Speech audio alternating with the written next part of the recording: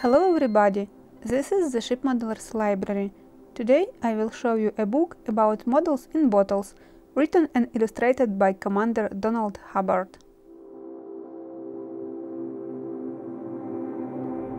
Off-watch sailormen occupied themselves creating bits of nautical art from whatever raw material came to hand.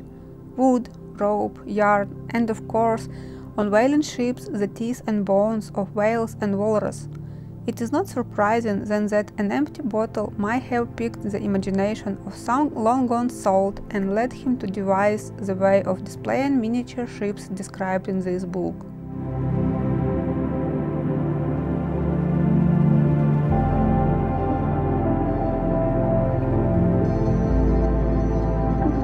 Even a beginner can create a beautiful model and with experience there is no limit to the type or style of sailing vessel one can build. Here then is an authentic maritime hobby to which you need only devote a reasonable amount of time, but one which will gratefully reward you with the satisfaction of creating and owning a small reminder of the great age of sail.